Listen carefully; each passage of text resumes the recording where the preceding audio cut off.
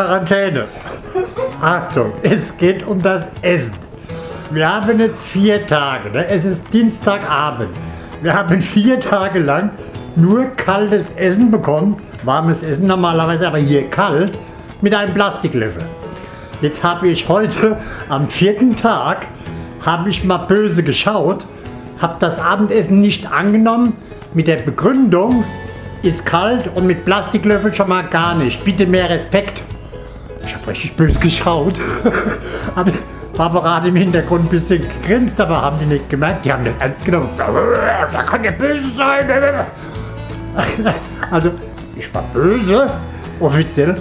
Jetzt schaut mal, halbe Stunde später, ich habe das zurückgehen lassen, halbe Stunde später servieren die das hier.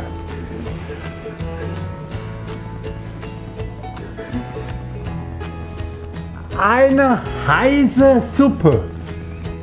Extra Glasig-Folie drüber, dass er heiß bleibt bis von der Küche her. Besteck. Hört mal. Ja, kein Plastik. Also, Sie kennen das hier.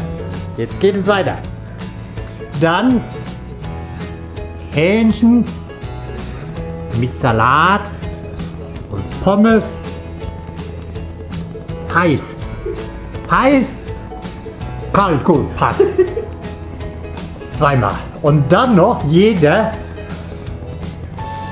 einmal Salatsoße für da und als Nachtisch noch ein Fruchtteller, schön mit Liebe geschnitten und arrangiert.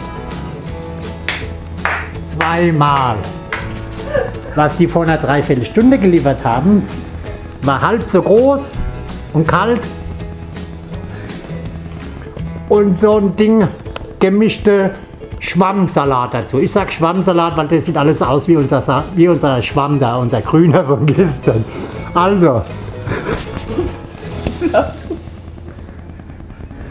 man weiß ja, Respekt ist in Asien sehr wichtig. Man soll den Menschen respektvoll gegenüberwirken, dass die ihr Gesicht nicht verlieren.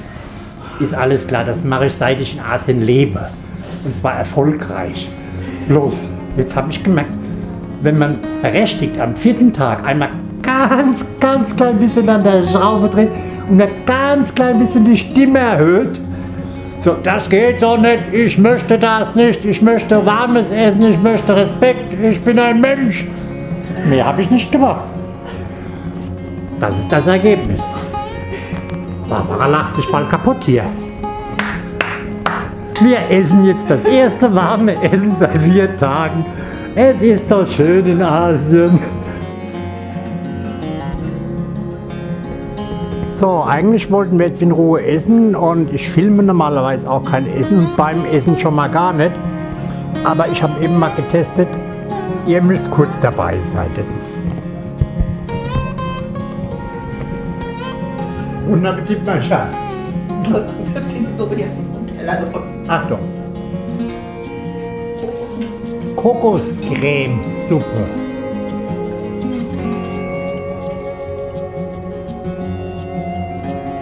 Geil!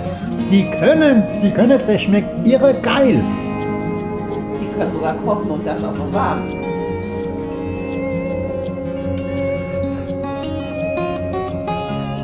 Da ist noch angeröstete kleine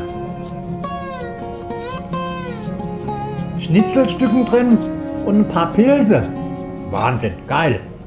Das Essen ist so gut, ich muss da etwas, mir ist eben was eingefallen. Ich weiß nicht, wer von euch Mark Wiens, schreibt sich wie Wien, wie die Hauptstadt Wien, bloß ein S dran. Mark Wiens von euch kennt.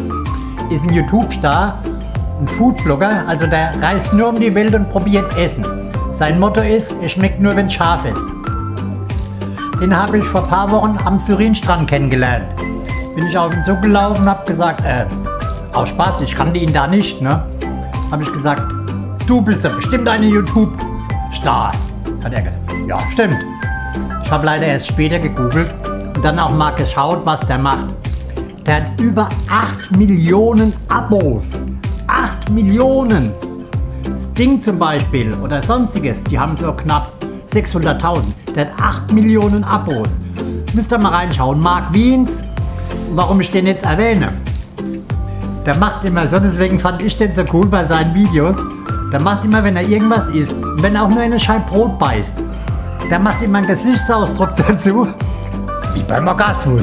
Das probiere ich jetzt mal. Ich, ich probiere mal nachzumachen, wie der das macht. Ich hoffe, es wird ein bisschen lustig. Achtung. Parodie Heinz Winter auf Mark Beans.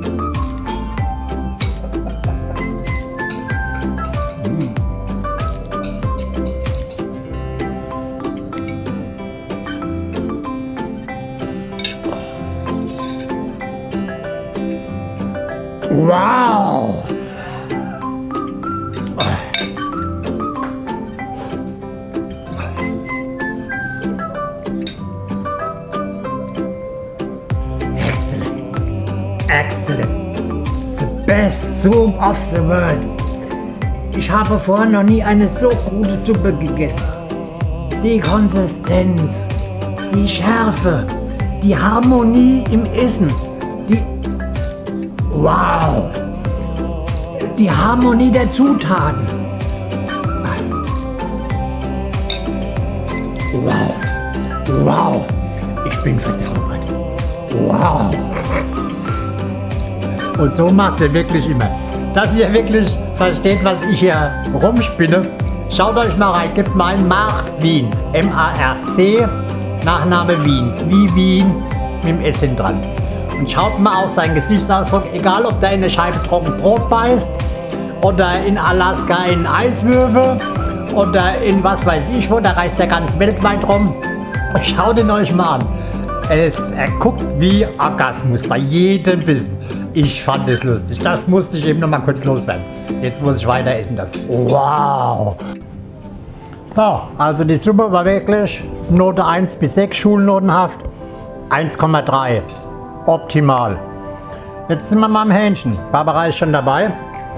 Und? Lecker. Lecker, ne? Warm, angenehm zu essen. Hat sich jemand viel Mühe gegeben. Ihr habt's gehört. Lecker. Das erste Mal hier. Top. Wir genießen. Wow. Das Leben ist so schön. Nee, also das Fleisch auch sehr, sehr lecker. Pommes heiß, Salat gut, alles. Total ungewohnt. Ich werde auch versuchen, weil ich möchte euch ja mit Quarantäne Themen und so nicht langweilen. Lieber mache ich gar nichts und warte drei Tage, bis ich auf Bali bin. Aber mit diesem schönen, exzellenten Dinner möchte ich auch mal das Thema Ernährung und Essen der Quarantäne hier abschließen. Außer wenn die nächsten ein, zwei Tage noch irgendein Hammer kommt. Dann fasse ich das Thema nochmal auf. Aber ansonsten, das Thema Essen haben wir jetzt hinter uns. Vier Tage, einmal böse gucken, dann klappt's. Resümee, am Schluss schmeckt's immer. Happy, mein Schatz? Heute werden wir sogar mal satt, ne? Ja, du musst mich nicht in Schlaf weinen. Ja, Nicht vor Hunger in Schlaf weinen. ja. Hau rein, mein Schatz, hau rein. So doch nicht. Das sehen die Leute, das haben die Leute gesehen jetzt, ne? Ach nicht. Hat mein Großvater schon gesagt, hau rein, aber nicht mit der Faust. Ja, sieht man wieder. Wenn sie gut zu essen haben, die Frauen, und geliebt werden, dann geht's nicht gut. Dann werden sie frech, übermütig. Aber mein Schatz darf das. Ja, wie ihr seht, Mittwoch 8.39 Uhr. Ich sage nur, Wunder gibt es immer wieder. Heute oder morgen können sie geschehen. Schaut mal, warmes Frühstück mit Besteck vom, vom Manager persönlich gebracht.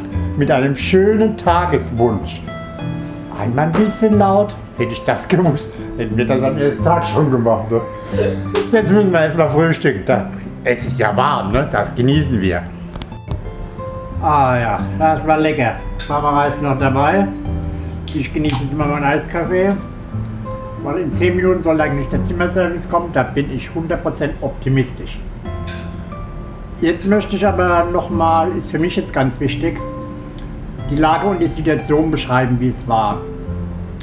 Äh, man wurde hier wirklich drei Tage, ihr habt es ja mitbekommen im Essen und dauernd Löwe, so ein bisschen, na, so lapidar behandelt, als wäre man nicht willkommen.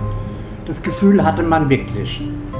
Und äh, ich spreche jetzt speziell die Situation an, wie geht man normalerweise mit einem Asiaten um als Europäer? Weil es sind einfach verschiedene Mentalitäten und verschiedene Kulturen. Und man sagt ja immer, einem Asiaten bitte die anschreien oder so, ihm immer die Möglichkeit geben, sein Gesicht zu wahren. Dieser Meinung bin ich auch weiterhin und ich bitte euch, dies auch zu tun. In meiner Situation war es jetzt so. Also Barbara hat jetzt im Nachhinein zu mir gesagt, sie hat jetzt mich in den letzten zehn Jahren bloß zweimal laut gehört. Also schien es wichtig gewesen zu sein. Ich habe aber auch dadurch, wo ich dann gestern mal laut wurde, sehr darauf geachtet. Ich habe niemand beleidigt. Ich habe niemand direkt angeschaut. In dem Moment, als ich laut wurde, als es einfach aus mir herauskam, weil auch wir Europäer haben Emotionen, es muss manchmal raus, ihr versteht das, habe ich mich umgedreht und habe mir den Indonesier in dem Moment nicht angeschaut. Ich habe ihm auch nicht ins Gesicht oder in die Augen geschaut. Das war für mich dann doch noch wichtig.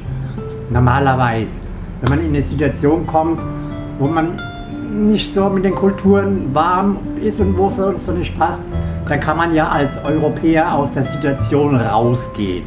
Ist ja alles kein Thema. So beliebe ich das auch zu tun. Erst mal drei, vier Chancen geben, wie jedem anderen Menschen auch. Und falls das nicht geht, dann respektvoll weiter behandeln und aus der Situation kann man dann rausgehen. Konnten wir hier im Hotel Quarantäne natürlich nicht. Deswegen bin ich halt mal kurz klein bisschen hier im Zimmer explodiert. Und das hat so Eindruck gemacht. In diesem Sinne positiv. Und ich freue mich auch von Herzen, dass es so aufgenommen wurde, weil wie gesagt, äh, Respekt ist ganz wichtig. Sie bieten Respekt, sie wünschen Respekt und Respekt hat auch jeder Mensch verdient, finde ich. Und ich bin, wie gesagt, in dieser Situation, ich habe mich umgedreht, habe den Asiaten nicht angeschrien direkt, habe ihn nicht angeschaut dabei und hatte trotzdem die Möglichkeit, meine Luft mal rauszulassen. Und dies war, glaube ich, der perfekte Weg in dieser speziellen Lage, in dieser speziellen Situation. Und ich glaube, das haben wir alle ganz gut hinbekommen. Wir, das Personal und die ganzen Taten drumherum. Das wollte ich unbedingt nochmal loswerden, weil das ist wichtig. Immer respektvoll Menschen behandeln, dein Gegenüber. Egal ob andere Kultur, egal ob gleiche Kultur, bleibt bitte immer respektvoll. Ihr möchtet Respekt erhalten, gebt ihn bitte auch weiter. Ist nicht so schwer. Gut, manche müssen vielleicht ein bisschen üben, aber das ist schon mal ein Anfang, wenn man es übt. So, ich glaube, das langt man als Film für heute. Das war mir wichtig, das wollte ich noch mit auf den Weg geben, dass da keine falschen Eindrücke oder Meinungen entstehen. Und so wie es jetzt aussieht, werden wir hier jetzt verwöhnt, wie in einem viereinhalb Sterne Hotel. Und das war vielleicht der letzte Film in der Quarantäne, weil wir freuen uns so langsam auch riesig auf Bali.